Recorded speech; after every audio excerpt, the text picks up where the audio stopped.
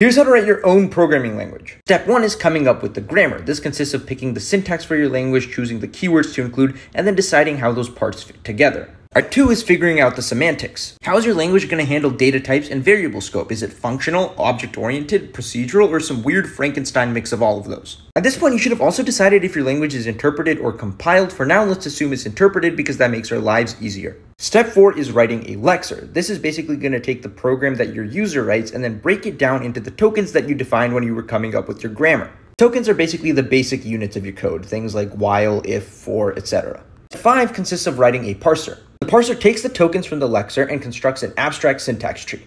AST represents the structure of your code and relationships between different code blocks. Step 6 is actually evaluating the program. Now that you have an AST and you know what your semantics are, you can write a traversal program that travels your tree and evaluates it according to the rules of your language. Once the tree is fully evaluated, you'll have the output for your program.